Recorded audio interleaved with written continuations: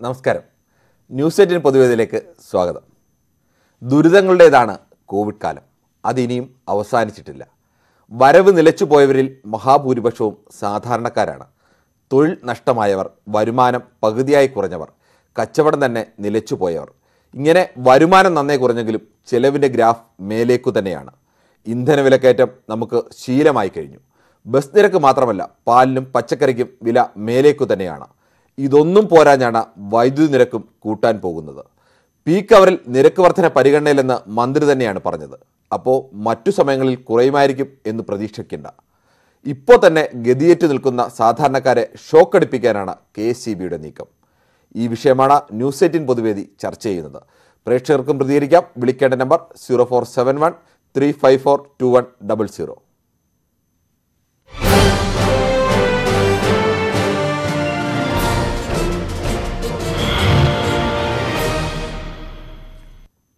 ആദ്യ പ്രേക്ഷകനായി എത്തുന്നത് ഇടുക്കിയിൽ നിന്നും വിജയനാണ്. കെ സി ബി നിരക്ക് വർദ്ധിപ്പിക്കാൻ പോവുകയാണ്. താങ്കൾക്ക് എന്തു തോന്നുന്നു? ഈ കാലത്ത് ഇങ്ങനെ ഒരു നിരക്ക് വർധനവ് അനിവാര്യമാണോ? ഹലോ സാർ ഞാൻ ഇവിടെ ഇപ്പോ ദാരിദ്ര്യം കൊണ്ട് ദാരിദ്ര്യം യഥാർത്ഥത്തിൽ ഈ ഗവൺമെന്റ് അധികാരത്തിൽ വന്നു തന്നെ ഈ ജനങ്ങളുടെ ദാരിദ്ര്യം മുതലെടുത്ത് അവർക്ക് കിറ്റ് കൊടുത്ത് കൊടുത്ത് കൊടുത്ത് കൊടുത്ത് വലിയ ഈ ഗവൺമെന്റിനെ അധികാരത്തിൽ കയറ്റിയതാ ഈ നാട്ടിലെ ജനങ്ങൾ. നൂറിൽ തൊണ്ണൂറ്റൊമ്പത് സീറ്റും കൊടുത്താണ് ഇവരെ അധികാരത്തിൽ കയറ്റിയത് അപ്പൊ ഈ ജനങ്ങൾ ഇത് അനുഭവിച്ചു നോക്കുകയുള്ളൂ കാരണം രോഗം കഴിഞ്ഞു. ഈ പ്രളയവും പണിയില്ലാതെയും കൂലിപ്പണി പോലും ഇല്ലാത്ത അവസ്ഥയിൽ ഇനിയിപ്പോ ഈ കറണ്ട് ചാർജ് കൂടെ വർദ്ധിപ്പിച്ചാലേ ഇത് അനുഭവിച്ചല്ലാണ്ട് എന്ത് ചെയ്യും? ഒന്ന് ആലോചിച്ചു ഒന്ന് ആലോചിച്ചു. മറ്റൊരു പ്രേക്ഷകൻ കൂടിയുണ്ട്. ഇടുക്കിയിൽ നിന്നുള്ള മണിയാണ്. മണിക്ക് ഈ വിഷയത്തിൽ എന്താണ് പറയാനുള്ളത്? പറഞ്ഞോ? ഹലോ. വൻകാരുടെ നികുതി പിരിച്ചാൽ നമുക്ക് നികത്തി പോകാനുള്ള കാര്യങ്ങളേ ഉള്ളൂ. പലപ്പോഴും ഏത് സർക്കാരായാലും വൻകിടക്കാരുടെ നികുതിയിൽ ഇളവാണ് കൊടുക്കുന്നത്. സാധാരണക്കാരിൽ നിന്നാണ് നികുതിയുടെ നല്ലൊരു പങ്കും എല്ലാ സർക്കാരുകളും പിരിക്കുന്നത്. വൻകിടക്കാരുടെ കുടിശ്ശിയെ പിരിച്ചാൽ മതിയല്ലോ ഇതിന്റെ നഷ്ടം നികത്താനായിട്ട്. എന്നിട്ട് ഈ പാവപ്പെട്ട ജനങ്ങളെ പിഴിയേണ്ട കാര്യമുണ്ടോ? ഇപ്പോഴും ലക്ഷങ്ങൾ കുടിശ്ശികയുള്ള പല വൻകിട കമ്പനികളുമുണ്ട്. അതെ അവർ കുടിശ്ശിക പിരിക്കുന്നില്ലല്ലോ എ- എ- ഈ എന്നിട്ട് സാധാരണക്കാരുടെ നിരക്ക് കൂട്ടാതെ ഈ വൻകിടക്കാരുടെ കുടിശ്ശിക പിരിക്കാണ് വേണ്ടത് അതെ? അതെ അതല്ലേ ചെയ്യേണ്ടത്? അതിനുമായി പാവപ്പെട്ട ജനങ്ങളാണ് പിടിക്കാൻ പിഴിയേണ്ടത് ശരി. താങ്കളുടെ വികാരം മനസ്സിലാവുന്ന. നല്ലൊരു നിർദ്ദേശം കൂടിയാണ് താങ്കൾ വെച്ചത്. പലപ്പോഴും ഇത്തരം നിർദ്ദേശങ്ങൾ വരാറുണ്ടെങ്കിലും ഫലപ്രദമായി നടപ്പാക്കുന്നില്ല. ഈ കാര്യത്തിൽ മാത്രമല്ല എല്ലാ നികുതി പിരിവിന്റെ വിഷയത്തിലും ഇതേ ഇതേ പ്രശ്നം തന്നെയുണ്ട്. പലപ്പോഴും വൻകിടക്കാർക്കാണ് വലിയ ആനുകൂല്യങ്ങൾ ലഭിക്കുന്നത്. ദുരിതം അനുഭവിക്കേണ്ടി വരുന്നത് സാധാരണക്കാരുമാണ്. മാവേലിക്കരയിൽ നിന്നുള്ള വിഷ്ണുവാണ് അടുത്ത പ്രേക്ഷകൻ. വിഷ്ണു പറയാം. ആ അതെ. എനിക്ക് ചോദിക്കാന്ന് വെച്ചാൽ ഇപ്പൊ ഇതുവരെ ഗ്യാസിന്റെ വില കൂട്ടുന്നു പെട്രോളിന്റെ വില കൂട്ടുന്നു എല്ലാത്തിനും കൂട്ടുന്നു നികുതി ടാക്സ് ആയിട്ട് നമ്മൾ ഒരുപാട് എമൗണ്ട് അയക്കുന്നുണ്ട് ഈ സത്യം പറഞ്ഞ നമ്മുടെ ഈ രാഷ്ട്രീയക്കാര് ഇവർക്ക് കൊടുക്കുന്ന ടാക്സ് എമൗണ്ട് ഇവരെടുക്കുന്ന ടാക്സ് എന്തുമാത്രം കാശ് ഇവരെടുത്ത് ചെലവാക്കുന്നു? ഇതിനൊക്കെയുള്ള റൈറ്റ് ഇടുന്നത് ഇതിൽ തന്നെ കൺട്രോൾ ചെയ്താൽ ഇവർക്ക് ശമ്പളം കൊടുക്കുന്നതിന് രണ്ടു മാസം ശമ്പളം കട്ട് ചെയ്ത് കഴിഞ്ഞാൽ എനിക്ക് തോന്നുന്നു കേരളത്തിലെ പട്ടിണി തന്നെ ഇല്ലാതായി പോകും. അതൊന്നും കഴിയില്ല. അവരുടെ ശമ്പളം അല്ല കേരളത്തിന്റെ ആകെ കേരളത്തിന്റെ അല്ലെങ്കിൽ ഇന്ത്യയുടെ ആകെ ചെലവ്. അത് നിങ്ങളുടെ ഒരു നിർദ്ദേശം അത് ആ നിർദ്ദേശത്തെ മാനിക്കുന്നു. മറ്റു പ്രേക്ഷകൻ കൂടിയുണ്ട് റാന്നിയിൽ നിന്നുള്ള ജോസ് ആണ്. ജോസിന് ഈ വിഷയത്തിൽ എന്താണ് പറയാനുള്ളത്? ഹലോ സാറേ ഈ ബസ് ചാർജ് വർധന അത് കഴിഞ്ഞപ്പോൾ ഇപ്പൊ വൈദ്യുതി ചാർജ് ഇതെല്ലാം കൂട്ടിക്കൊണ്ടിരിക്കുകയാണ്. ഏഹ് ഇവിടെ സാധാരണക്കാരൻ ജീവിക്കാൻ യാതൊരു നടപടിയില്ല പ്രത്യേകിച്ച് ഇപ്പോൾ കോവിഡ് കാലം കൂടിയാണ്. സാധാരണക്കാരന്റെ വരുമാനമാണ് ഏറ്റവും കൂടുതൽ ബാധിച്ചത്. ആ അതെ അതെ. ഇപ്പൊ ഒരു പെയിന്റിംഗ് ജോലി നടത്തുക ഇപ്പൊ ഈ മഴ കാരണം അതും ഇല്ല. മൊത്തത്തിൽ പെയിന്റിംഗ് ജോലി ചെയ്യുന്ന ആളാണല്ലേ? ആ അതെ അതെ. ഓക്കെ ഇപ്പൊ കോവിഡ് കഴിഞ്ഞതിന് ശേഷം മുമ്പ് ആളുകൾ വീടുകൾ പെയിന്റ് പെയിന്റ് ചെയ്തിരുന്ന പോലെ അത്ര അതേ അളവിൽ ചെയ്യുന്നില്ലയോ? അതോ അതിന്റെ ഇടവേളകൾ കൂടിയോ? എങ്ങനെയാണ്? പണി തീർത്തും കുറവാണ്. പെയിന്റിംഗ് മേഖല പിന്നെ മേശൻ പണി ഇതെല്ലാം തീർത്തും കുറവാണ്. പെയിന്റിംഗ്. സ്വാഭാവികമായി മാറ്റിവെക്കാൻ കഴിയുന്നതാണല്ലോ നമുക്ക്. അല്പം കൂടി മോശമായാലും കുഴപ്പമില്ല. പിന്നീട് ചെയ്യാമെന്ന് ആളുകൾ കരുതുമല്ലേ ആ കരുതും കരുതും. അതാണ് അങ്ങനെ ഒക്കെ ഇടയിലാണ് ഈ വൈദ്യുതി ചാർജ് ഇപ്പൊ കൂട്ടുന്നതെന്ന് പറയുന്നത്. വൈദ്യുതി ചാർജ് കൂട്ടുമ്പോൾ എല്ലാവർക്കും ആ തൊഴിൽ നഷ്ടപ്പെട്ട് നിൽക്കുന്ന എല്ലാ മനുഷ്യർക്കും അതെ ബാധിക്കുന്ന വിഷയം തന്നെയാണ്. ആ അതെ അതെ അതെ മൊത്തത്തിൽ. അതുപോലെ പച്ചക്കറിക്ക് പലവ്യഞ്ജനത്തിന് മൊത്തം വിലയാണ്. എങ്ങനെ ജീവിക്കുമെന്ന് പോലും അറിയത്തില്ല. കോവിഡ് കാലത്ത് ഇതിനൊക്കെ ഒരു ഇളവ് വേണ്ടതാണ്. ആ അതെ അതെ അതെ. തീർച്ചയായിട്ടും. ശരി എന്തായാലും റാന്നിയിൽ നിന്നുള്ള ജോസഫ് ജോസിന്റെ അഭിപ്രായം അത് തന്നെയാണ്. കോവിഡ് കാലമാണ്. കോവിഡ് കാലം പഞ്ഞക്കാലം തന്നെയാണ്. ആ മറ്റൊരു പ്രേക്ഷകൻ കൂടിയുണ്ട്. കൊല്ലത്തു നിന്നുള്ള തമ്പിയാണ്. തമ്പിക്ക് ഈ വിഷയത്തിൽ എന്താണ് പറയാനുള്ളത്? ആ സാറേ ഈ വിഷയം ഈ ഇതെല്ലാം സാധാരണക്കാരെയാണ് ബാധിക്കുന്നത്. പാവപ്പെട്ടവരെയാണ് ഇതെല്ലാം ബാധിക്കുന്നത്. കോടിക്കണക്കിന് രൂപ പിരിഞ്ഞ് കുടിച്ചുകൊണ്ട് അത് പിരിച്ചെടുക്കാൻ സാധിക്കുന്നില്ല ഇവരെ കൊണ്ട്. എല്ലാ ജനങ്ങൾക്ക് വേണ്ടി ഞങ്ങൾ അങ്ങനെയാണ് സാധാരണക്കാരുടെ പാർട്ടിയാണെന്ന് പറഞ്ഞ് അധികാരത്തിൽ ഓരോ പ്രാവശ്യം ഇപ്പൊ ബസ് ചാർജ് കൂടാൻ പോകുന്നു. ഇത് എവിടെ ചെന്ന് നിൽക്കും? എന്ത് ചെയ്യും? സാധാരണക്കാരായ കൂലി തൊഴിലാളികളായ ഞങ്ങളെ പോലുള്ളവർ എന്ത് ചെയ്യും? ഇത് എങ്ങോട്ട് പോകും? ആരോട് പറയും? എന്താണ് ഈ ഗവൺമെന്റ്? ഇത്രയും വെള്ളപ്പൊക്കവും കാര്യങ്ങളും എല്ലാം ഉണ്ടായിട്ട് ഇത്രയും ജനങ്ങളെ ദുരിതത്തിലാക്കിയിട്ട് ഇത് ഒരു ഇരുട്ടടിയാണ്. ഇത് ഇല്ല ഇടിവെട്ടിയവന്റെ തലേ പാമ്പ് കടിച്ചെന്ന് പറഞ്ഞ അവസ്ഥയായി പോയി. ശരി എന്തായാലും താങ്കൾ പറഞ്ഞ പ്രയോഗം വളരെ കറക്റ്റാണ് ഈ കാലത്തിന് പറ്റിയ പ്രയോഗം തന്നെയാണ്. ഇടിവെട്ടിയവന്റെ തലയിൽ പാമ്പ് കടിക്കാൻ പോകുന്നു. ആ അവസ്ഥയിലാണ് നിൽക്കുന്നത്. മറ്റെല്ലാ തരത്തിലും നമ്മൾ ദുരിതത്തിലാണ്. അവിടെയൊന്നും പണം കൊടുക്കാൻ കഴിയുന്നില്ല. അപ്പോഴാണ് വീണ്ടും അടുത്ത ഒരു വർധന കൂടി. വീട്ടിലെ വൈദ്യുതി അതുകൊണ്ട് കണക്ഷൻ വിച്ഛേദിക്കാൻ നമുക്ക് കഴിയില്ല. എല്ലാവരുടെയും ജീവിതത്തിന്റെ ഏറ്റവും അനിവാര്യമായ ഒരു ഘടകം തന്നെയാണ് വൈദ്യുതി. മറ്റൊരു പ്രേക്ഷകൻ കൂടിയുണ്ട് കൊല്ലത്തു നിന്നുള്ള വിനോദാണ്. വിനോദ് എന്താണ് വിനോദിന് പറയാനുള്ളത്? സാറേ ഞാൻ റിയൽ ആയിട്ട് താമസിക്കുന്ന ബോംബെയിലാണ് ബോംബെയിൽ ഇവിടെ. ഇലക്ട്രിസിറ്റി സപ്ലൈ ചെയ്യുന്നത് റിലയൻസുകാരനാണ്. എട്ട് രൂപ ഒരു യൂണിറ്റ് ചാർജ് ചെയ്യുന്നത് എട്ട് രൂപ. എന്നിട്ട് കേരളത്തിൽ ഇപ്പം നാല് രൂപ എൺപത്തഞ്ച് പൈസയ്ക്ക് കൊടുക്കുന്നതിന് പത്ത് ശതമാനം കൂട്ടത്തേനാണ് ഈ കരയുന്നത്. ഡെയിലി പെട്രോളിന് കാശ് കൂട്ടി മോഡി. ആരും കരഞ്ഞില്ലല്ലോ. അയ്യോ ജീവിക്കാൻ മാർഗമില്ല എല്ലാ വിഷയത്തിലും പെട്രോളിന്റെ പെട്രോളിന്റെയും ഡീസലിന്റെയും വില കൂട്ടിയപ്പോഴാണ് നമ്മൾ ഏറ്റവും കൂടുതൽ കേരളത്തിലെ നമ്മളടക്കമുള്ള എല്ലാ മാധ്യമങ്ങളും ഏറ്റവും കൂടുതൽ ചർച്ച നടന്നതും കേരളത്തിൽ ഏറ്റവും കൂടുതൽ തവണ വിഷയം ചർച്ച ഒരു വിഷയമായി ചർച്ച ചെയ്തെന്ന് ആലോചിച്ചാൽ ഏറ്റവും കൂടുതൽ തവണ ചർച്ച ചെയ്തത് ആ വിഷയമായിരിക്കും. ഒരു ഒരു കുന്തോ കുന്തവും നിങ്ങൾ ചെയ്തില്ല. അവിടെ ഇരുപത്തൊമ്പത് ഇരുപത്തൊമ്പത് സ്ഥലത്ത് ഉപ- ഉപതെരഞ്ഞെടുപ്പ് നടത്തേണ്ട അത് ഏഴ് ഏഴെണ്ണമേ ബി ജെ പി ജയിച്ചുള്ളൂ. ബാക്കിയെല്ലാം തോറ്റു. ബി ജെ പി ജയിച്ചതോ കോൺഗ്രസ് ജയിച്ചോ ജയിച്ചതോ സി പി എം ജയിച്ചതോ അല്ല നമ്മുടെ വിഷയം. ആ വിഷയം നമ്മൾ ഗൗരവമായി നമ്മളടക്കം എല്ലാ മാധ്യമങ്ങളും വളരെ ഗൗരവമായി തന്നെ ഇപ്പോഴും കഴിഞ്ഞ ആഴ്ച അടക്കം വീണ്ടും ചർച്ചയായതാണ് ഇന്ധന വില വർധന സംബന്ധിച്ച് മറ്റൊരു പ്രേക്ഷകൻ കൂടിയുണ്ട് ചന്ദ്രനാണ് ചന്ദ്രന് ഈ വിഷയത്തിൽ എന്താണ് പറയാനുള്ളത്?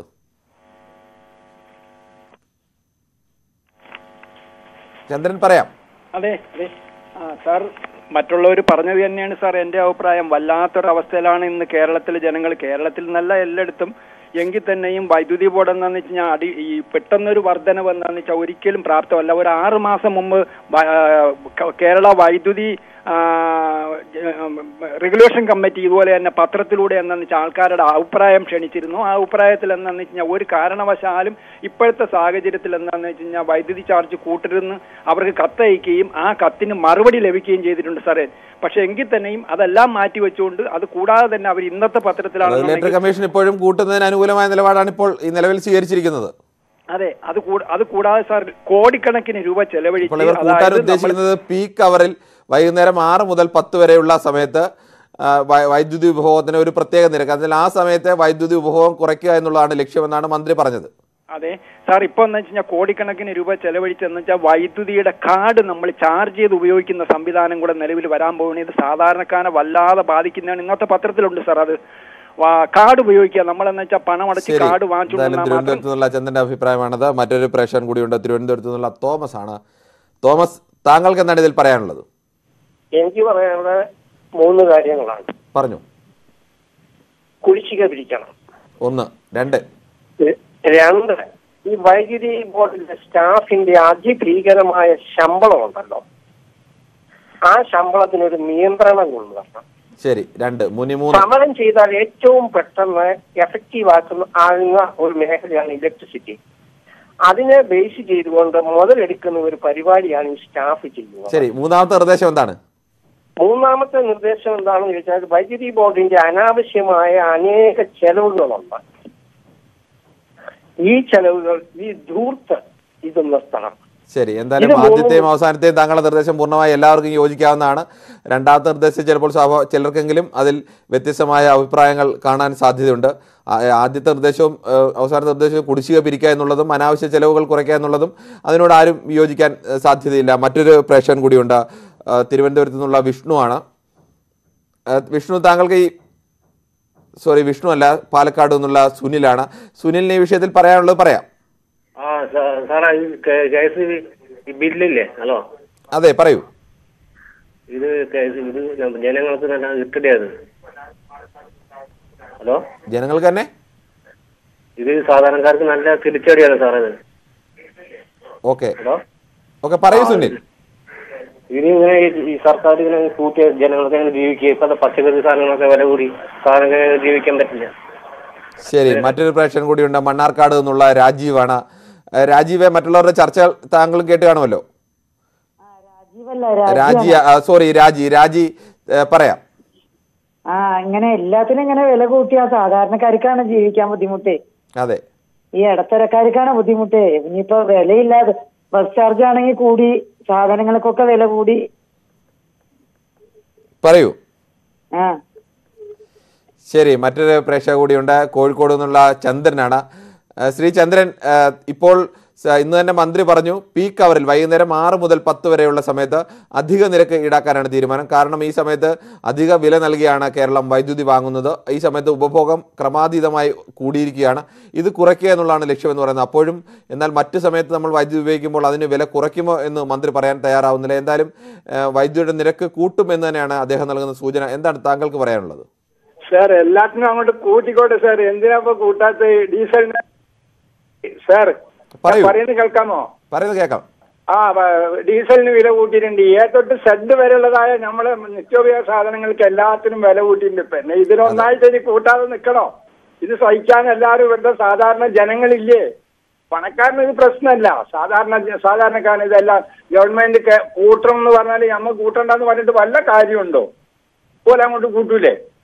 ഗവൺമെന്റ് നേരത്തെ നമ്മളെല്ലാം ഇപ്പൊ ആ ഒരു ശീലമാവുന്ന ഒരു അവസ്ഥയിലേക്ക് നമ്മൾ എത്തിക്കഴിഞ്ഞു അല്ലേ?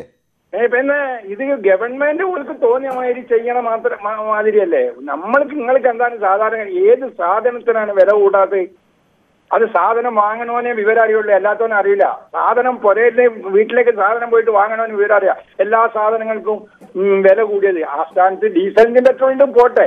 ഇതിന്റെ പുറത്ത് ഏത് ഈ ഇതും ഉണ്ടല്ലോ വെള്ളത്തിന് കിട്ടുന്ന സാധനമാണല്ലോ ഒരു ചെലവും ഇല്ലാതെ. ഏഹ് ആ അത് ഇന്നൊരു തുറന്നു വിടുകയാണല്ലോ വെള്ളം. ഇത് ഇനി നമ്മൾ ഇങ്ങനത്തെ കൂട്ടാന്ന് പറഞ്ഞാൽ കൂട്ടട്ടെ ബസ് ചാർജ് ഇതാ അടുത്ത് വരുന്നുണ്ട് ബസ് ചാർജ്. താങ്കളുടെ ഒരു അമർഷം നമ്മൾക്കും കൂടി മനസ്സിലാവുന്നുണ്ട്. എല്ലായിടത്ത് സ്ഥലത്തും വില കൂടിക്കൊണ്ടേയിരിക്കുകയാണ്. എവിടെയും കുറയ്ക്കുന്നില്ല. ആ ഒരു ഗതികേടിന്റെ സാധാരണ ജനം അനുഭവിക്കുന്ന ദുഃഖത്തിന്റെ സ്വരം കൂടിയാണ് ശ്രീ ചന്ദ്രൻ അവതരിപ്പിച്ചത്. മറ്റൊരു പ്രേക്ഷക കൂടിയുണ്ട് ശാലിനിയാണ്. ശാലിനിക്ക് ഈ വിഷയത്തിൽ എന്താണ് പറയാനുള്ളത്? കാരണം ഞങ്ങളൊരു ട്രൈബൽ വിഭാഗമാണ്. ഞാൻ ഇവരിങ്ങനെ കെ സി ബിക്കാർ ഈ സർക്കാർ ഇങ്ങനെ കാശ് കൂട്ടുമ്പോ ഞങ്ങൾ ഈ സാധാരണക്കാരെ ഈ ട്രൈബൽക്കാർ എങ്ങനെ കാശടക്കാനാണ്? ആകെ കാട്ടിൽ പോയിട്ട് വേര് വെച്ചും മരുന്നെടുത്തിട്ടൊക്കെയാണ് ഞങ്ങൾ ജീവിക്കുന്നത്. ഈ സർക്കാർ ഇങ്ങനെ ഒറ്റയടിക്ക് കെ സി ബിയുടെ ബില്ലിങ്ങനെ കൂട്ടിക്കഴിഞ്ഞാൽ ഞങ്ങൾ സാധാരണക്കാർ എന്ത് ചെയ്യും? ഞങ്ങൾ ഈ കാട്ടിൽ കയറി മരുന്ന് വലിക്കുന്നത് ആനനെ പേടിച്ചും കരുവി പേടിച്ചിട്ടൊക്കെയാണ് ഞങ്ങൾ ഈ നാട്ടിൽ ജീവിക്കുന്നത്. അപ്പൊ ഇവരിങ്ങനെ ചെയ്ത് കഴിഞ്ഞാൽ ഞങ്ങളെ പോലുള്ള സാധാരണക്കാർക്ക് എന്താ ചെയ്യാൻ പറ്റുക? ഇപ്പൊ നമുക്ക് ഈ മാസത്തെ കറണ്ട് ബില്ല് ഞങ്ങൾ ആ ഒരു ടിവിയും രണ്ട് ബൾബുമാണ് കത്തിക്കുന്നത്. നാലായിരത്തി ഒരുന്നൂറ്റി അമ്പത് രൂപയാണ് ഞങ്ങളുടെ കറണ്ട് ബില്ല് വരുന്നത്. ഒരു ഒരു ടിവിയും രണ്ട് ബൾബും കത്തിച്ചതിന്റെ പേരിലാണോ ഈ രണ്ട് മാസത്തേക്ക് ഇത്രയും തുക വന്നത്? അത് സാറേ ഞങ്ങൾക്ക് ഈ ആദിവാസികളാണ് മരുന്ന് വലിച്ചിരിക്കുകയാണ് ഞങ്ങൾ ജീവിക്കുന്നത്. ഈ രണ്ട് ബൾബ് ഒരു ടി വി വർക്ക് ചെയ്യുന്ന ഞങ്ങൾക്ക് നാലായിരത്തി ഇരുന്നൂറ്റി അമ്പത് രൂപ കറണ്ട് ബില്ല് ഇതിങ്ങനെ കൂട്ടിക്കഴിഞ്ഞ് തീർച്ചയായും ഈ വിഷയം കാണിച്ച് എനിക്ക് തോന്നുന്നു ശാലിനി പറഞ്ഞ കണക്ക് വെച്ചിട്ടാണെങ്കിൽ ഇപ്പോഴത്തെ നിരക്കിനേക്കാളും വളരെ കൂടുതലാണ്. അത് പരാതിപ്പെടണം അതിന് തീരുമാനം ഉണ്ടാക്കിക്കണം. ആ ശരി. ശരി എന്തായാലും വളരെ ഒരു സാധാരണക്കാരായ ഒരാൾ പറഞ്ഞതാണ്. അവരുടെ വീടുകൾ അവർക്ക് കാട്ടിൽ പോയി സാധനങ്ങൾ ശേഖരിച്ച് വിറ്റ് ജീവിക്കുന്ന ഏറ്റവും സാധാരണക്കാരായ ഒരു മനുഷ്യരാണ്. ആ മനുഷ്യർക്ക് ഇത്ര അവരുടെ പുറത്താണ് ഇനി വലിയ അധിക ഭാരമായി ഈ വൈദ്യുതി നിരക്ക് കൂടി വരാൻ പോകുന്നത്. അതിന്റെ ഒരു അമർഷമാണ് അവർ രേഖപ്പെടുത്തിയത്. മറ്റൊരു പ്രേക്ഷകൻ കൂടിയുണ്ട് എറണാകുളത്തു നിന്നുള്ള ജിജോ ആണ്. ജിജോ എന്താണ് ഈ വിഷയത്തിൽ താങ്കളുടെ നിലപാട്? സാറേ ഒന്നാമത്തെ ഈ കോവിഡ് പ്രതിസന്ധി ഇത് ആൾക്കാരെ നട്ടം തിരിഞ്ഞുകൊണ്ടിരിക്കുകയാണ്. അപ്പൊ അതിനിടയ്ക്ക് ഈ കറണ്ട് കാശും കൂടി വരുമ്പോൾ ജനത്തിന് നല്ല ഇട്ടടിയാന്ന് തന്നെ പറയാൻ പറ്റുള്ളൂ. എന്താന്ന് വെച്ചാൽ ഇപ്പൊ ഇവർ പീക്ക് ടൈമിൽ റേറ്റ് കൂട്ടുക എന്നുള്ളത് പറഞ്ഞു. മിക്കവാറും പകൽ സമയങ്ങളിൽ നിന്ന് കറണ്ട് തന്നെ ഇല്ലെന്ന് തന്നെ പറയാം.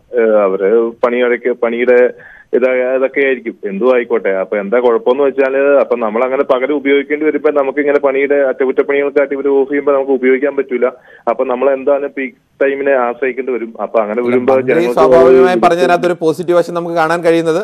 എനിക്ക് തോന്നുന്നു ആ സമയത്ത് കൂടുതൽ വൈദ്യുതി പുറത്തുനിന്ന് വാങ്ങേണ്ടി വരുന്നു. അധിക ഉപയോഗം ഏറ്റവും കൂടുതൽ ഉപയോഗം നടക്കുന്നത് വൈകുന്നേരം ആറ് മുതൽ പത്ത് വരെയാണ്. ആ സമയത്ത് പതിനെട്ട് രൂപ വരെ വില നൽകിയാണ് വൈദ്യുതി വാങ്ങേണ്ടി വരുന്നത്. ഇത് അധിക ചിലവുണ്ടാക്കുന്നുണ്ട്. ആ സമയത്ത് വൈദ്യുതിയിൽ ചില കുറവുണ്ടാക്കിയാൽ ആ ആകെ ഉപഭോഗത്തിൽ കുറച്ച് കുറവ് വന്നു കഴിഞ്ഞാൽ ഈ അധിക വൈദ്യുതി വാങ്ങുന്നത് കുറച്ച് കുറയ്ക്കാൻ കഴിയും. മന്ത്രി തന്നെ പറഞ്ഞത് നിങ്ങൾ ഗ്രൈൻഡർ ഉപയോഗിക്കുന്നുണ്ടെങ്കിൽ നിങ്ങൾ അല്ലെങ്കിൽ വാഷിംഗ് മെഷീൻ ഉപയോഗിക്കുന്നുണ്ടെങ്കിൽ നിങ്ങൾ അയൺ ചെയ്യുന്നുണ്ടെങ്കിൽ അത് മറ്റു സമയത്ത് ചെയ്താൽ ഈ അധിക നിരക്കിൽ നിന്ന് മാറാം. പക്ഷേ അപ്പോഴും മറ്റു സമയത്ത് നിരക്ക് കുറയ്ക്കുന്നതിനെക്കുറിച്ച് അവർ പറയുന്നില്ല. നിരക്ക് കൂട്ടുന്നതിനെക്കുറിച്ച് മാത്രമാണ് പറയുന്നത്. അതെ എന്തായാലും ഈ കോവിഡ് പ്രതിസന്ധിയിൽ അത് വരുമ്പോഴേ ജനന് ഞങ്ങൾക്ക് വലിയൊരു എന്താ പറയാ ഇരുട്ടടിയാന്ന് തന്നെ പറയാൻ പറ്റുള്ളൂ. എന്തായാലും ചാർജ് ഇപ്പൊ വർദ്ധിപ്പിക്കരുത് എന്ന് തന്നെയാണ് എനിക്ക് പറയാനുള്ളത്. ശരി. മറ്റൊരു പ്രേക്ഷകൻ കൂടിയുണ്ട് കുട്ടനാണ്. കുട്ടനെ ഈ വിഷയത്തിൽ എന്താണ് പറയാനുള്ളത്? സാർ സാറേ ഞാൻ കുട്ടനാണ് സാറേ. നെയ്യാറ്റിങ്ങനെ സാറേ ഞാൻ സാധാരണക്കാരനാണ്. മേശിരി പണിക്കാരനാണ് ഞാൻ പോകുന്നത്. ഞാൻ മേശിരി പണിക്കാണ് പോകുന്നത്. സാറേ ഇപ്പൊ നിലവിൽ ഞാനിപ്പോ വർക്ക് ചെയ്യുന്ന കോവിഡ് കാലത്ത്. പഴയതുപോലെ കോവിഡിന് മുമ്പുണ്ടായിരുന്ന രീതിയിലേക്ക് താങ്കൾക്ക് പണി ലഭിക്കുന്നുണ്ടോ? അതല്ല സാറേ ഇപ്പം നിലവിൽ ഞാനിപ്പോ ഒരുവിധം പച്ച പിടിച്ച് വരുന്നതാണ്. എന്നിരുന്നാൽ പോലും നമുക്ക് ഇപ്പം താങ്ങാവുന്നതിന് അപ്പുറമാണ് ഇവർ ഇപ്പൊ കാണിക്കുന്നത്. കാരണം എന്ന് പറഞ്ഞു കഴിഞ്ഞാൽ സാറേ ഇതും കൂടെ പോയി ഞാൻ ഒരു ബൾബോ അല്ലെങ്കിൽ ഞാൻ ഈ പറയുന്ന കൂട്ട് ഫ്രിഡ്ജോ കാര്യങ്ങളോ എന്റെ വീട്ടിലില്ല. ഞാനൊരു സഹായക്കാരാണ് ഇതും കൂടെ കൂട്ടുമ്പോൾ ഞങ്ങൾ രണ്ട് ബൾബോ അല്ലെങ്കിൽ ഒരു ടി വി കാണുമ്പോഴത്തേക്ക് വരുന്ന മുന്നൂറ് നാനൂറ് രൂപ ബില്ല്. അത് പോയി ചോദിക്കാൻ പോകുമ്പോൾ പറയാം നീ വേണമെങ്കിൽ അടച്ചിട്ട് പോവുക. ഇതൊക്കെ ഞങ്ങൾ ഈ സഹായം കൂടെ താങ്ങുമോ സാറേ? ഇതും കൂടെ ആകുമ്പോൾ ഞങ്ങൾ ഇനി എന്തോ ചെയ്യാനാ? ഞങ്ങൾ എല്ലാം സഹകരിക്കുന്ന കൂട്ടത്താ. ഇതും കൂടെ ആകുമ്പോഴത്തേക്കും ഭയങ്കര ഒരു ബുദ്ധിമുട്ടായ സാധാരണക്കാരായ മനുഷ്യരുടെ ജീവിത പ്രയാസങ്ങളാണ് അവർ ഈ ന്യൂസ് എയ്റ്റീൻ പൊതുവേദിയിലൂടെ അവതരിപ്പിക്കുന്നത്. ന്യൂസ് എയ്റ്റീൻ പൊതുവേദി ഈ വിഷയത്തിലുള്ള ചർച്ച തുടരും. ഇപ്പോൾ ഒരു ചെറിയ ഇടവേള.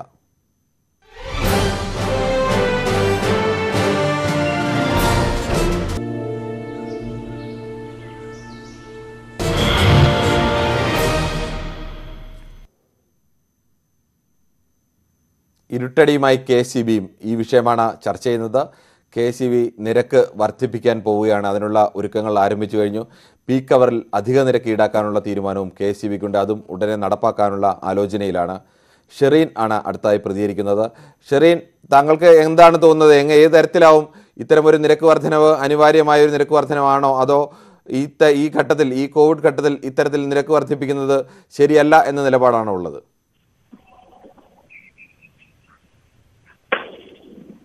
ഷെറീൻ പറയാം. ഷെറീന്റെ കോൾ കട്ടായെന്ന് തോന്നുന്നു. അടുത്തത് മലപ്പുറത്തു നിന്നുള്ള മോഹനാണ്. മോഹൻ താങ്കൾ ഈ ചോദ്യം കേട്ട് കാണുമല്ലോ. താങ്കൾക്ക് പറയാം. സാറേ എനിക്ക് പറയാനുള്ളത് ഒരു വ്യത്യസ്തമായ അഭിപ്രായമാണ്. നമ്മൾ ഈ വൈദ്യുതി നിരക്ക് വർധനവ് എന്ന് പറയുന്നത് ഒഴിവാക്കാൻ കഴിയാത്തൊരു സാഹചര്യമാണ് എന്നാണ് മനസ്സിലാക്കുന്നത്. തീർച്ചയായിട്ടും ചെറിയൊരു ഈ കാർഷിക ഉപഭോക്താക്കളെ അമിതമായി വർദ്ധിപ്പിക്കാത്ത തരത്തിൽ ബാധിക്കാത്ത തരത്തിലുള്ള ഒരു വർധനവ് അനിവാര്യമാണെന്ന് തോന്നുന്നു. നേരത്തെ പറയാനുള്ളത്. എന്താണ് താങ്കൾക്ക് അങ്ങനെ പറയാനുള്ള കാരണം? സാറേ എല്ലാത്തിനും ഇപ്പോൾ പത്രം പാൽ പത്രം അങ്ങനെ തുടങ്ങി മനുഷ്യന്റെ അവശ്യ സാധനങ്ങളുടെ എല്ലാം വിലവർദ്ധനമല്ലേ സാർ ശരി. മറ്റൊരു പ്രേക്ഷകൻ കൂടിയുണ്ട് പാലക്കാട് എന്നുള്ള സന്തോഷാണ്. സന്തോഷ് താങ്കൾക്ക് ഈ വിഷയത്തിൽ എന്താണ് പറയാനുള്ളത്? സാർ നിരവധി എല്ലാവിധ സാധനങ്ങൾക്ക് പെട്രോളിയം ഉൽപ്പന്നങ്ങളാവട്ടെ അല്ലെങ്കിൽ ഭക്ഷ്യ- ഭക്ഷ്യധാന്യ ഉൽപ്പന്നങ്ങളാവട്ടെ പച്ചക്കറി ആവട്ടെ എല്ലാവിധത്തിലും വില കൂടിക്കൊണ്ടിരിക്കുന്ന ഒരു പ്രത്യേക സാഹചര്യത്തിൽ ഈ ഞങ്ങളെ പോലുള്ളവരൊക്കെ വാടക വീട്ടിൽ താമസിക്കുന്ന ആൾക്കാരാ. പത്ത് നാലായിരം മൂവായിരം രൂപ വാടകയും കൊടുത്തിരിക്കുന്ന ആൾക്കാർക്ക് എങ്ങനെയാണ് സാർ ഇതിൽ ഇത് ഇതുപോലൊരു വർധനവ് ഞങ്ങൾക്ക് മറ്റേ താങ്ങാനാവുക? അത് മാത്രമല്ല ഞങ്ങൾക്ക് ഇനി പ്രീ പ്രീപെയ്ഡ് മീറ്റർ എന്നോ ഡിജിറ്റൽ മീറ്റർ എന്നൊക്കെ പറയുന്നുണ്ട്.